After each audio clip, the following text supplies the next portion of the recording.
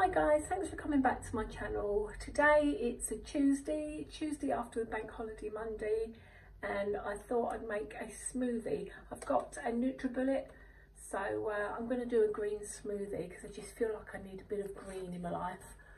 Um, so what I'm going to do, I have the big, the large container here. This is, it's been used and used and used so it's a bit bit tired, but hey, it still does the job.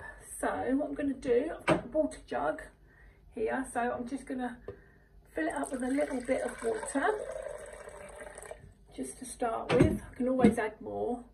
And I've got a bag of young spinach.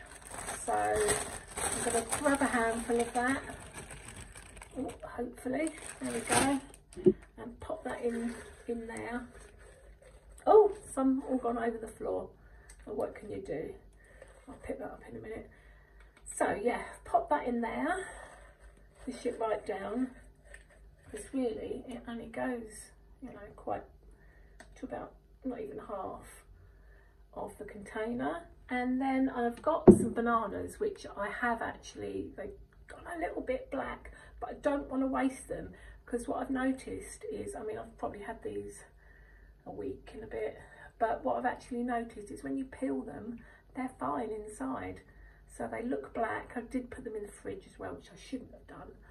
But anyway, I'll show you. So let's peel the banana. Um, well, this one's a little bit bruised, but it's not too bad. Look, that's fine for making a smoothie with. You're only going to chuck it in the blender. So let's chuck that in the blender. I'll break it up into pieces. One, two, three, four pieces there. And then I have an orange which I'm going to throw in. Oh let's just peel that. Oh. To be honest I mean I put an orange in but I've never really tasted the orange. Well it's tangerine isn't it? But um let's pop that in. One two three four that's another four pieces that's pretty filled it up pretty much filled it up I do have um, some chia seeds, which I'll get out of the cupboard. Um, where are they? There they are. Let's get those out. I always like to put a few chia seeds in. Can never taste them, but I know they're good for you. So I've just put a few of those in. Can you see? see if you can see. There you go. I think we might have to add some more water but usually I add the water as I go because uh, I don't like it too watery. So what we're going to do now is place the blade on the NutriBullet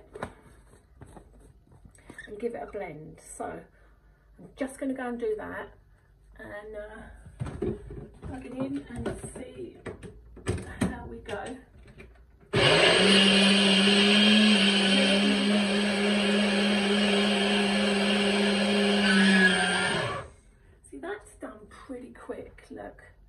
Like it too, I like it with the little bits in.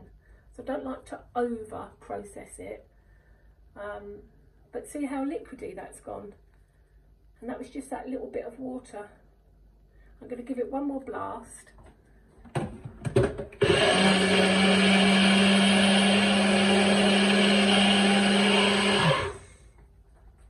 And that is my green shake the day. Well, for lunchtime anyway. Let's see if I can show you without tipping it everywhere.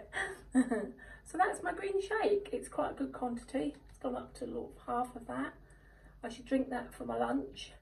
Makes me feel like uh, I've had a little bit of a cleanse too. So uh, yeah, there we go. Thanks for watching. I hope you've enjoyed it. If you could give it a thumbs up, that would be great.